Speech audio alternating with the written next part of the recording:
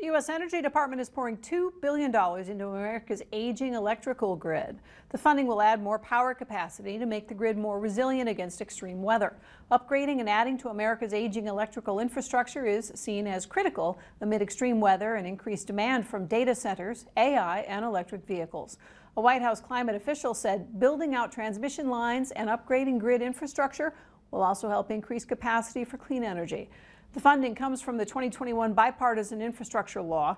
Meanwhile, uh, the Biden 2022 climate law is also spurring new investments in clean energy.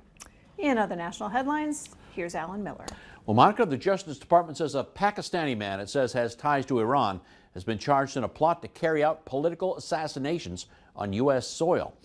Asif Merchant is accused of traveling to New York to try to hire a hitman. The plot was disrupted before it could be carried out. Prosecutors didn't identify any of the potential targets, but the case was unsealed just weeks after the disclosure of a threat on former President Trump's life.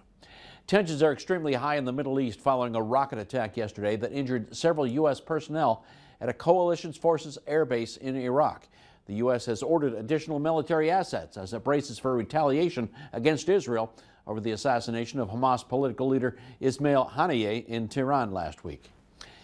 A possible tornado spawned by deadly tropical storm Debby left a trail of damage in South Carolina this morning. Residents believe a twister touched down north of Charleston. Tornadoes were also confirmed last night in two other communities. Debby is expected to dump more heavy rain and has, has the potential to cause catastrophic flooding. And one of the stories we're working on for First News at 6, some new flood control proposals in Bismarck could affect some softball diamonds. Back to you, Monica.